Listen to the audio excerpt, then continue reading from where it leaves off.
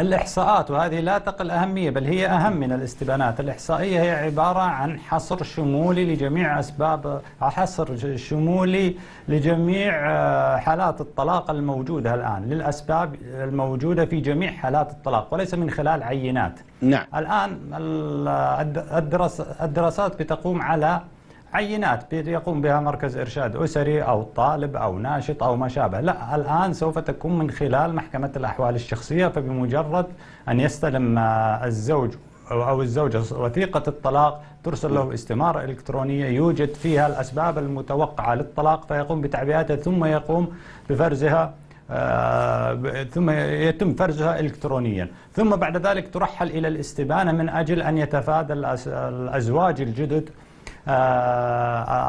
الأسباب التي أدت إلى طلاق أولئك المطلقين. يعني عملية ربط بين المتزوجين وبين آه، بين المطلقين وبين نعم. المتزوجين.